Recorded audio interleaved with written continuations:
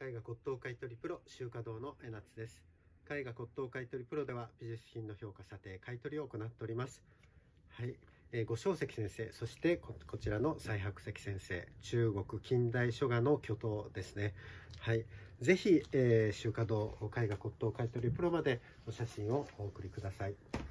はい、大変人気がございます。文化大革命で中国では破壊が行われまして、日本にかなり良いものが残っているというふうにされております。こちら、先月買わせていただいた五正石先生の作品です。はい、絵画骨董買取プロまで、ぜひお写真をお送りください。はい、こちらフリーダイヤルです。絵画骨董買取プロでした。